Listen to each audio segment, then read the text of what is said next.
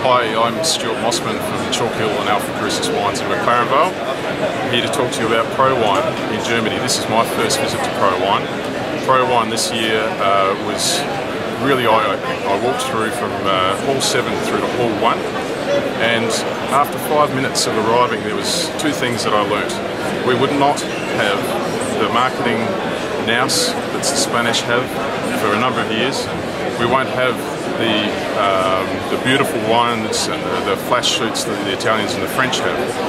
Um, but what we will have is going to be a story about real wines, high quality wines, and we have to work on our relationships with people and make sure that they are incredibly strong.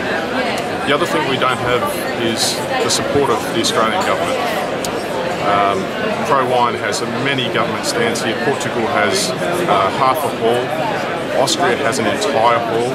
Uh, Wine Australia would have uh, maybe 200 metres. Um, we really need to have the support of the government to make Australia uh, be rightful and successful in this, this global industry. And without that, we'd be, um, I think we have a, a risk of uh, falling behind some of the other countries.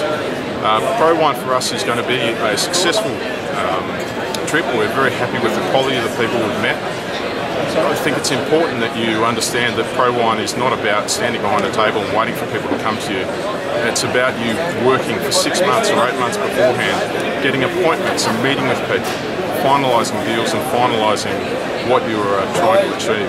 Uh, we've been very successful at able to do that and we're looking forward to seeing some really good positive results.